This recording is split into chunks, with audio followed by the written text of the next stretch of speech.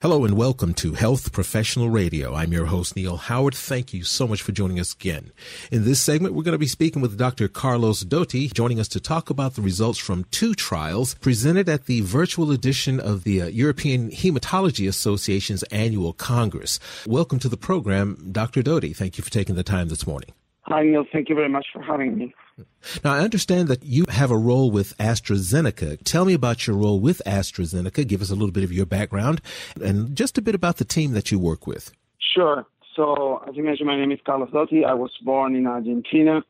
I'm a hematologist by training. I worked both in Argentina and the U.S. as a hematologist for more than 10 years.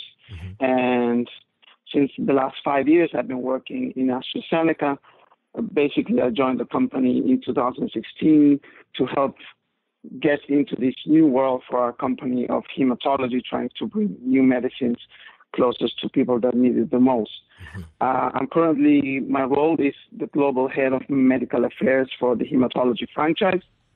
I work uh, closely with US, European, and international markets to help them um, get into this new world for AstraZeneca while supporting healthcare professional patient organizations. Uh, we're mostly dedicated for now in, with our new compound with acalabrutinib. The commercial name is Calquence, was approved um, mm-hmm. last year for chronic lymphocytic leukemia in the U.S., and we're seeking approval in other international and European markets this year and the following. My team is six people in the U.S., but mm-hmm. we have 77 launches awaiting for us in the next 18 months. Oh. So it's it's a pretty big team that we work with, either directly or, or indirectly.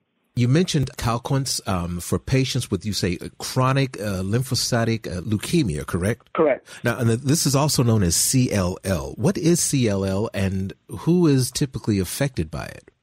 So CLL is a condition that starts with the lymphocytes in the bone marrow. It's an, it's an increase in, in, in the production of these cells that currently we don't have a cure. So it progresses initially as an indolent disease. It typically starts around the age of 67 to 70. Mm-hmm. So when on your last uh, in, in your seventh decade of life, usually starts as an indolent disease. You can only pick it up by an exam well, because the lymphocyte starts growing while not affecting the other cells in the bone marrow. Mm-hmm. At some point, you can either get symptoms because you either displace the other normal cells in the bone marrow, causing anemia or bleeding or infections, or because the lymphocytes now grow outside the marrow and into the lymph nodes, and you typically can find some small lymph nodes in the head or in the neck and in the armpits. But most frequently, it's it's picked up on a routine exam test. Mm-hmm. Uh, so once you're the di- you're diagnosed of, of this CLL, because it's an indolent disease, as I mentioned first, from most of the times you don't need immediate treatment. So you just need to follow up the patients whether it will be needing treatment afterwards. Roughly around 50% of the patients did not require treatment at the beginning of the disease, but eventually, within months or years after that, most of them will require some form of intervention to either control the lymphocyte growth or control the symptoms associated with those lymphocytes growth. Is this something that is misdiagnosed frequently? Can it mask itself as, as other conditions that also need to simply be monitored when in fact this is something that is needs to be monitored until just a couple of months or as you say maybe a year down the road when treatment is going to be necessary? Well, you know, it always depends on how knowledgeable the physician that sees you is Mm-hmm. If you have an initial blood count of 100,000, with an exaggeration, but just to make my point, uh, nobody will not defer you to a hematology because that's 10 times more than your usual uh, blood counts. If you, but you can start with 12,000, 15,000, and that can be missed because you think, well, maybe this is a viral infection, mm-hmm. maybe this is something also indolent, and it can present like that, and then you defer it. But eventually those lymph, those uh, lymphocytes will, will continue growing and you will be deferred to a hematologist. Mm-hmm. Now, once you reach to a hematologist, the diagnosis is pretty straightforward. It only takes a drop of blood under the microscope to realize how um, these lymphocytes are, and then the workup is, is pretty simple. Now, what was the data that was shared at the uh, EHA for Calquence? Um, what is it, and how does it actually work for the patient? Sure. So we got our first approval in the U.S.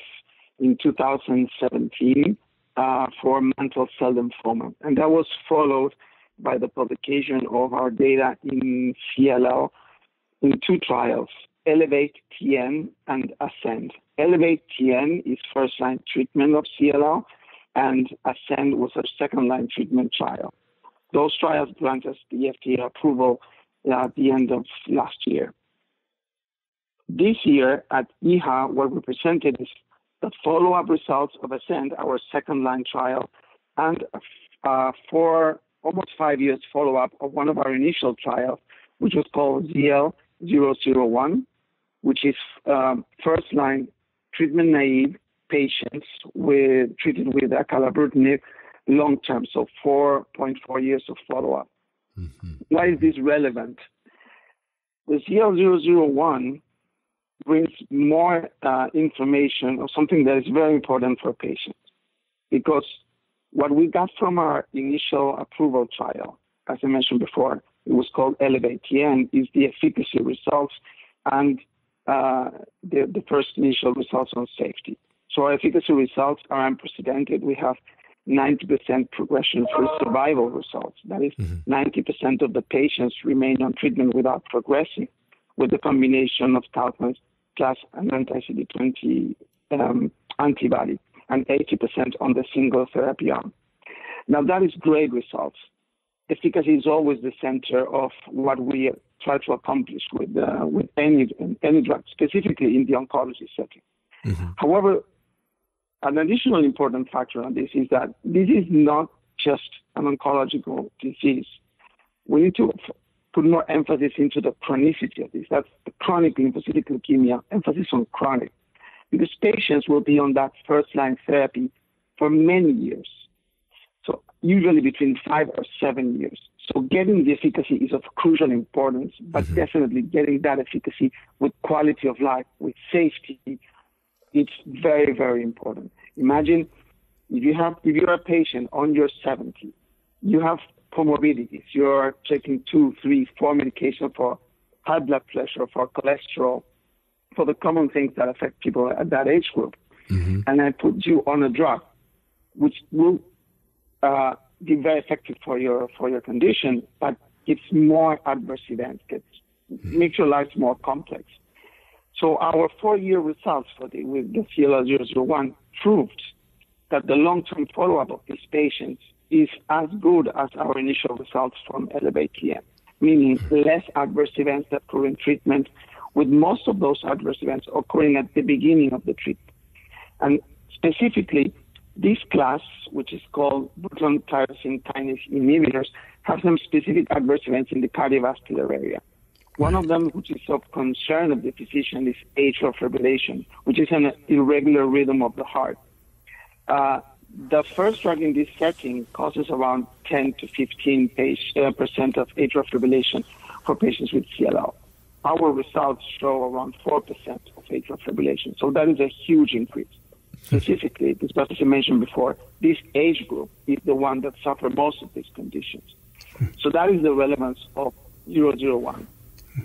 When going to the second line, the Ascend, the other trial that I mentioned before, it's also a long-term follow-up. It's two years of follow-up, but it's also the first time that a novel treatment like Calquence is compared with another novel treatment. In this case, particularly, it's called idelalisib, which is a drug that's been out for a couple of years now. Mm-hmm. And at two years of follow-up, the progression-free survival for Calquence was 82%. That means 82% of the patients did not progress. We was almost double from the competitor arms, which includes idelalisib and chemotherapy with bendamustine. So definitely, these are good results in terms of efficacy. And once again, no new signals of adverse events, low rate of adverse events, and the adverse events that did occur occur at the beginning of the treatment. Give our listeners a website where we can get some more information about Calquence and about some of the uh, information that we've been talking about this segment. Yes, so there is the AstraZeneca corporate website that we can give you. And we can give you the link afterwards. There's a section for patients. There's also a section for physicians. And there's also some information for U.S. patients specifically. As you know, the access to oncological drugs is different in the U.S. than in the rest of the world. So there's some helping tools for, for patients also. All right. Well, thank you, uh, Dr. Doti, for joining us here on Health Professional Radio this morning. Thank you very much for having me. This is a very important times for us in AstraZeneca. We've entered with Calquence in this new era for our company into hematology. And this is our first big step, but not the last step. We're working on a very big portfolio that will address patients' needs, not only in chronic lymphocytic leukemia, but also in other diseases with a high unmet need like acute myeloid leukemia, myelodysplastic syndromes, multiple uh, myeloma and other forms of high aggressive lymphoma. So thank you very much for this opportunity. We're looking forward to speaking with you again. Thank you very much. You've been listening to Health Professional Radio. I'm your host, Neil Howard. Audio copies of this program are available at hpr.fm and healthprofessionalradio.com.au. You can also subscribe to the podcast on iTunes, listen in, download at SoundCloud, and be sure and subscribe to our YouTube channel at youtube.com, Health Professional Radio.